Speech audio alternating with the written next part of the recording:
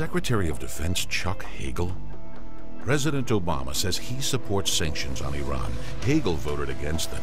Hagel voted against labeling Iran's Revolutionary Guard a terrorist group.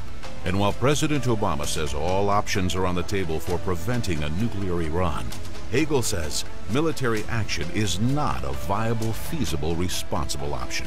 President Obama, or Secretary of Defense, Chuck Hagel is not a responsible option.